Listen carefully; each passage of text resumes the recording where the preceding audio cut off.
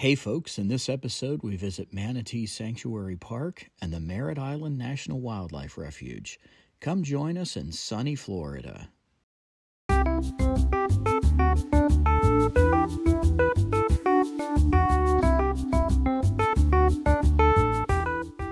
Make sure you click subscribe so you don't miss our next adventure. If you've never been there before, you should know that Florida is big. I often forget that when crossing the state line. It was a long trip from home to the central Florida coast. As we drove south, though, the skies got clearer, and even though it was dark when we arrived at Port Canaveral, the next morning was beautiful.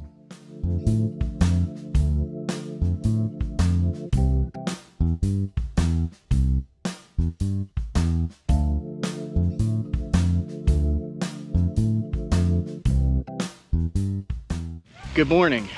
We're at the Manatee Sanctuary City Park here on Cape Canaveral.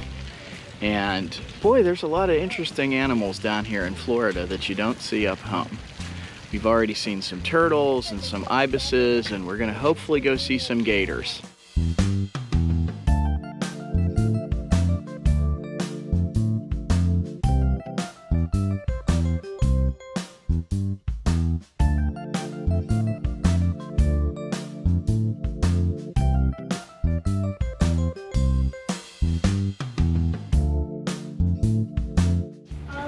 Oh, there's a cruise ship. There really is something to the weather in Florida. Look how beautiful this place is. There also seem to be a lot of county and city parks here.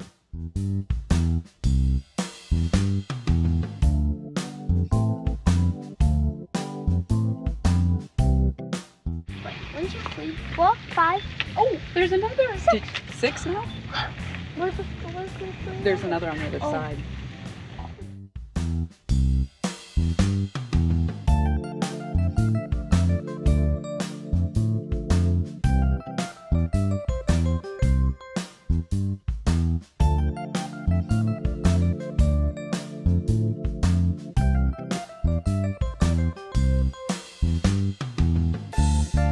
This is called Banana River Park, and it's about a five minute walk from the Manatee Sanctuary Park. It's all still on Cape Canaveral.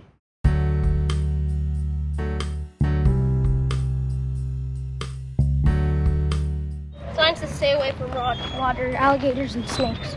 Water in snakes. the water here, huh? Water snakes. Poisonous water snakes. Oh no. Stay back here if you want to live.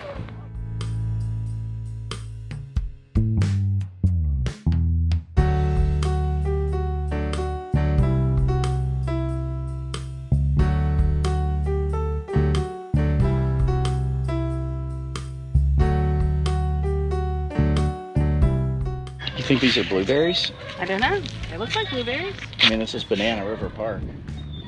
Bananas don't grow like that. After Banana River Park, we headed to the Merritt Island National Wildlife Refuge. We were really on Merritt Island the whole time. It's a big island, lots of typical beach amenities, but it is also the home of America's East Coast space activities.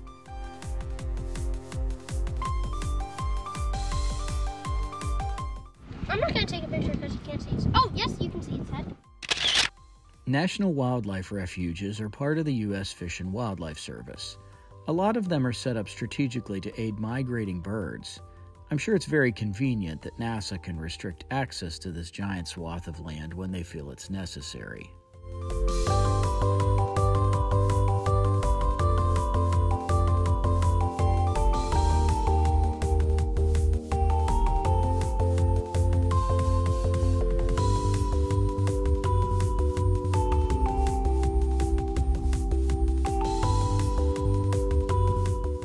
It was $10 to do the Black Point Wildlife Drive.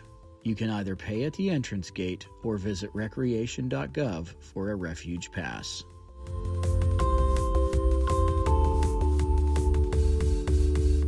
Part of the wildlife drive included some parking areas and restrooms where you could stop and take some short hikes. There are 51 salt marsh impoundments in this refuge where conditions can be adjusted. Water level adaptations and wildland management, including prescribed fire, are used to create environments helpful to migrating seabirds.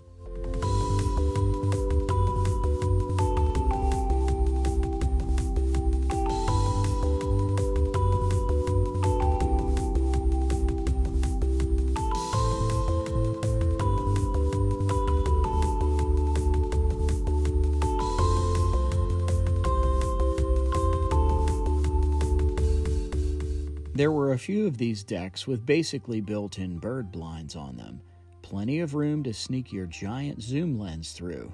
This place is great for nature photography.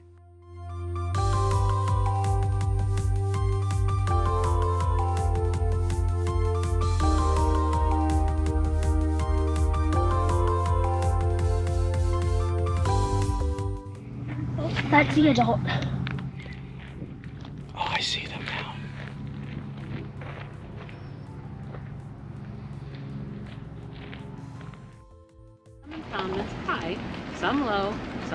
Saltier, and some pressure. At times, water levels are either drawn down or raised to provide habitat for specific species. Oh, I see him there.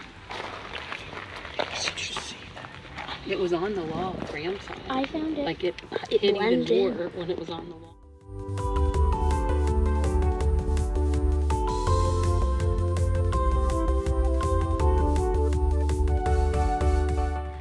We'll be all right. We're not going to go five miles, right?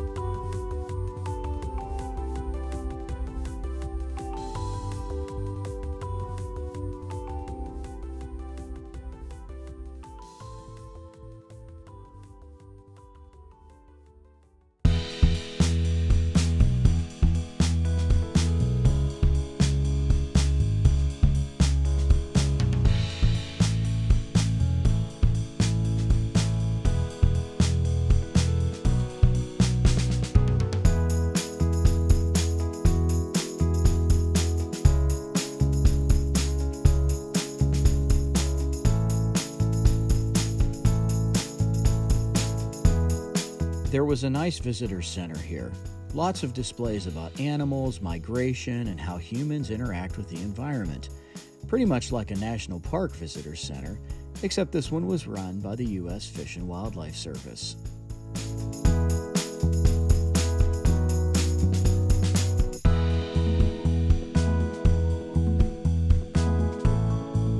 Oh, pelts. River otter.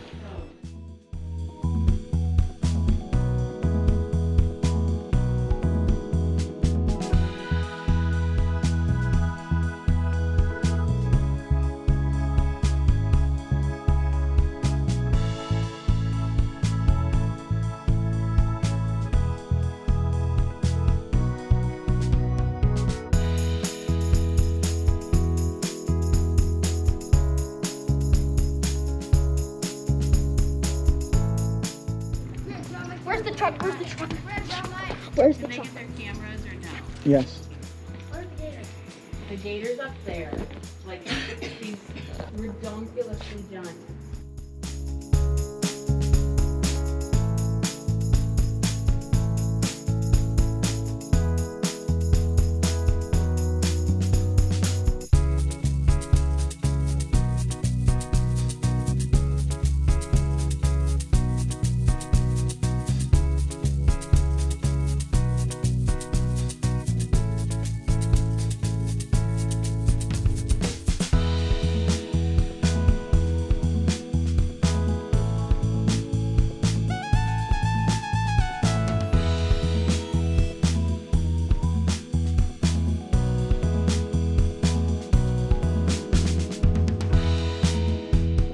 Okay, raise your hand if you've ever seen the big brown signs on the highway that say National Wildlife Refuge and you just drove right past it.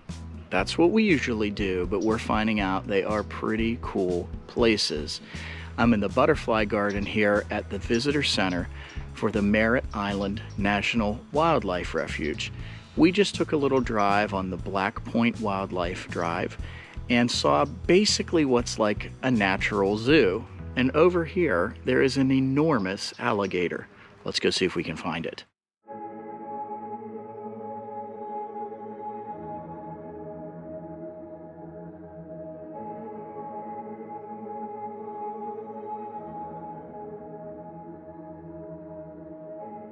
They even have passport stamps if you're into that.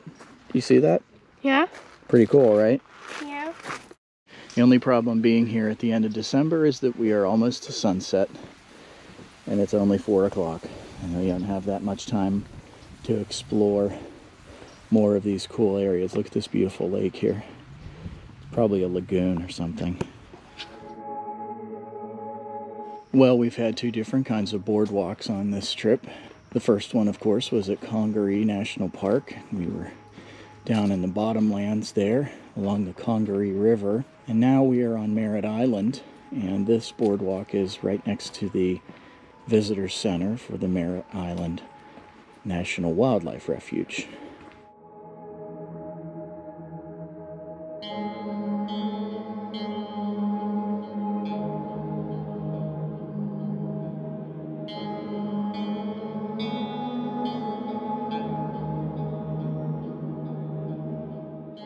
Mm-hmm. It's the gator. Gator. You see another gator out there? No. Oh, yes. Right about there? Yep. We'll have to show you one of Graham's pictures.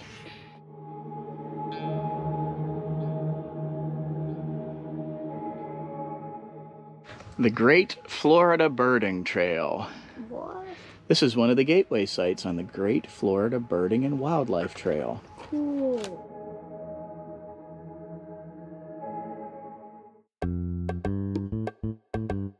Our final stop for the day was Canaveral National Seashore, but since it was nearly dark and we didn't bring beach things, we didn't stay too long. There's the vehicle assembly building. The Vehicle Assembly Building is the largest single story building in the world and what is used to assemble pre manufactured space vehicle components. In the old days, it would have held the space shuttle assemblies and the Saturn V rockets. Oh, and I hear the ocean.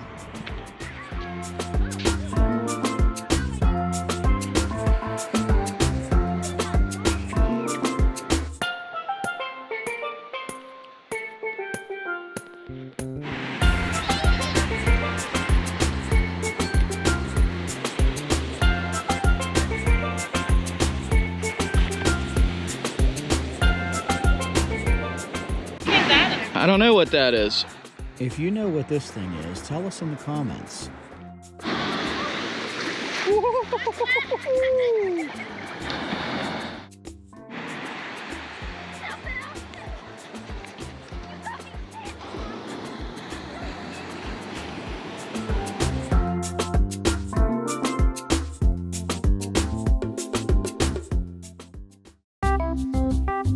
Thanks for watching. In our next video, we travel to Blue Springs State Park and go hunting for manatees. Please remember to subscribe to our channel, like and share this video, and comment below.